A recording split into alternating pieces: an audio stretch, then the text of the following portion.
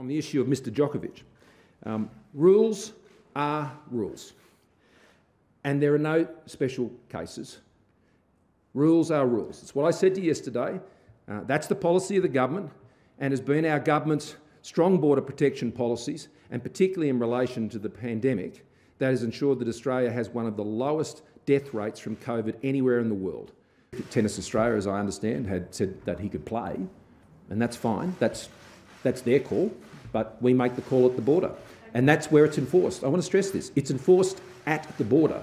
The rules are made known to all travellers.